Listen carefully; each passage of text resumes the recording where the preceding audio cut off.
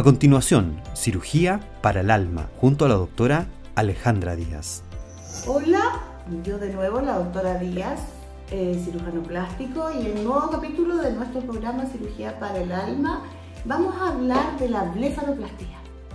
La blefaroplastía, ¿qué significa? Es la cirugía de los párpados, cuando los párpados están caídos o tienen otras alteraciones como bolsas, ¿ok? Bolsas grasas. Eh, hablemos primero de la blefaroplastía superior. Obviamente esta es de los párpados superiores. Eh, y podemos tener dos alteraciones o las dos en conjunto. Eh, básicamente un exceso de piel que se produce con los años o a veces, muchas veces también es familiar. Hay, hay familias que tienen este como párpado caído, que amanecen con los párpados hinchados, etcétera y también pueden haber bolsas. Eh, dentro del, a ver, protegiendo el globo ocular, hay bolsas de grasa, ¿ok? Muchas veces estas bolsitas son más grandes de lo habitual y protruyen un poco, salen un poco hacia el párpado superior y hacia el inferior. Por lo tanto, ese exceso de grasa, nosotros también podríamos ver si ese exceso de grasa podemos sacar algunas de esas bolsitas. Muchas veces el párpado se ve caído, el párpado superior, y un poco abultado. Nosotros cuando hacemos la cirugía vemos también si hay algunas bolsitas de grasa que podamos resecar. La cirugía del, párpado superior o blefaroplastía superior eh, se, puede, se realiza habitualmente en ambos párpados y como les digo sacando piel o bolsas. Existen otros procedimientos que se pueden hacer eh, que ya son más complejos, que son en el mismo tiempo, o que uno pudiera manejar un poco el músculo que pueda estar caído, o además eh, hacer una pecha ciliar, que es subir un poquito la cola de la ceja. Eh, pero básicamente lo que yo les contaba. La cirugía del párpado superior se hace mediante una incisión que va en el pliegue de nuestro párpado. Si nosotros cerramos uno de los párpados nos damos cuenta que justo cuando nosotros lo doblamos hay un pliegue. En esa línea, desde esa línea hacia arriba, se reseca piel.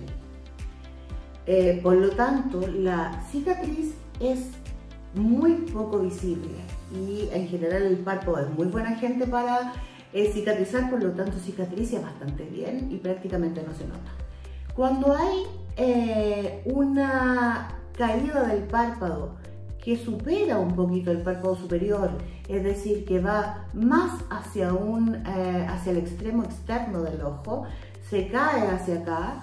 Eh, lo que hacemos además es poner la cicatriz un poquito más hacia alguna de las arrugas que están en el canto externo.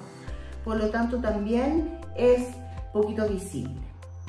Este es un procedimiento que se puede hacer tanto con anestesia general, o con anestesia local más sedación, con anestesia local, dependiendo del centro, de la tolerancia del paciente, del gusto, etc.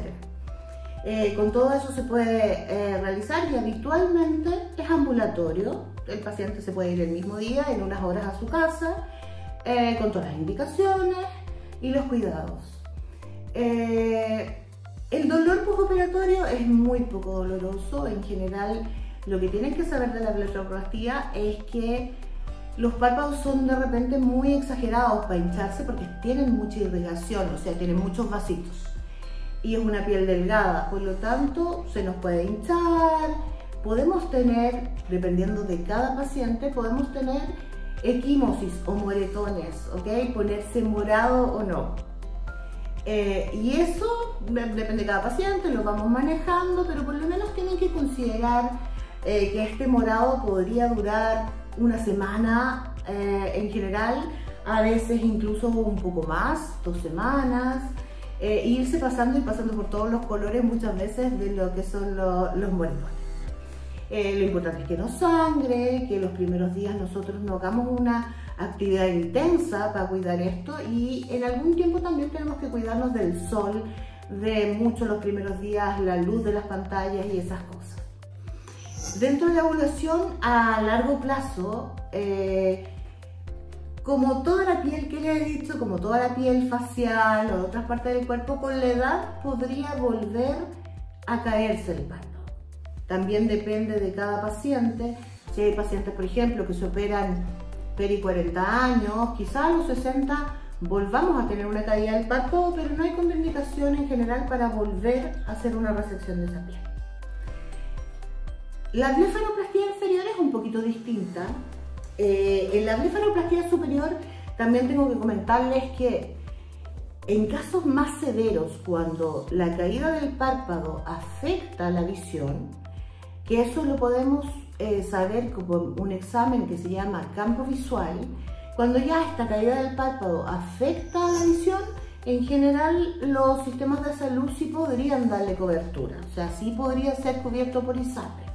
No así la blefaroplastia inferior de la que les voy a hablar ahora, porque la blefaroplastia inferior es en general para las bolsas, que son un poquito, bolsas de grasa que son un poquito eh, más comunes o más grandes en el párpado inferior, eh, por lo tanto se considera más bien estético. Existen en general dos maneras de operar el párpado inferior, que es con una incisión que va en el borde de las pestañas, en el párpado inferior, donde uno sobre bajo el músculo va a buscar las bolsitas de grasa que hay, después se tracciona y también si hay un exceso de piel podemos sacar un exceso de piel. No mucho, porque ya les voy a explicar que en el párpado no podemos hacerlo por el riesgo de que nuestro párpado se venga un poquito hacia abajo. La otra manera de hacerlo cuando no hay un exceso de piel afuera en general es que solo por dentro del párpado saquemos las bolsitas de grasa si es que es eso eh, lo que más nos afecta o, la cosa principal. En el postoperatorio un poquito más de cuidado diría yo que en el párpado superior, porque en el párpado inferior eh, a veces nos metemos en el músculo orbicular, que es el músculo que rodea eh, el ojo, y para que no sangre, lo mismo con la actividad, un poquito quizás mayor de, moretón, de morado eh, y, que se hinche un poquito. También en esta cirugía necesitamos lubricar los ojitos muy seguido, eh, ponernos fríos al principio. Pero también hay que limitar algunos los días la actividad. También como en el párpado superior, no es muy doloroso para nada. Lo que yo les contaba es que no podemos sacar mucha piel del párpado inferior como uno de repente quisiera, porque podemos producir lo que se llama un extropion, que por el peso o por la piel que hemos sacado, se produjera un poquito que el ojo se viniera un poquito hacia abajo el párpado. Habitualmente si pasa, también con técnicas de quimio, compresión o cosas muy... Eh, se pasa finalmente. Pero la idea es que eh, no nos pasemos, por eso no nos podemos pasar en sacar la piel que uno quisiera sacar.